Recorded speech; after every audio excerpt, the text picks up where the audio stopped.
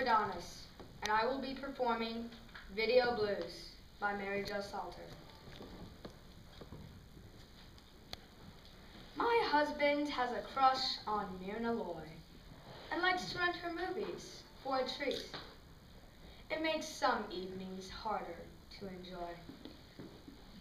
The list of actresses who might employ him as their slave is too long to repeat.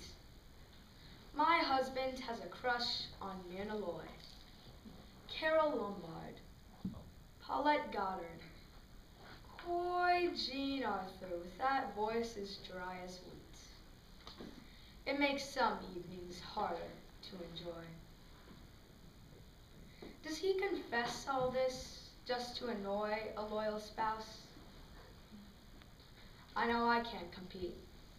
My husband has a crush on Myrna Loy. And can't a woman have her dreamboats? Boy, I wouldn't say my life is incomplete. But some evening I could certainly enjoy two hours with Cary Grant as my own toy. I guess, though, we were destined not to meet.